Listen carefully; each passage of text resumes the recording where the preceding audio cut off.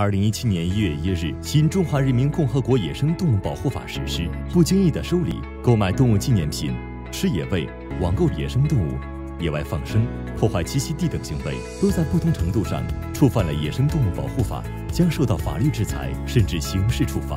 我们要增强法律意识时刻警惕同时也要监督身边的野生动物犯罪行为。如若发现可拨打当地公安局林业部门电话或当地媒体新闻热线举报。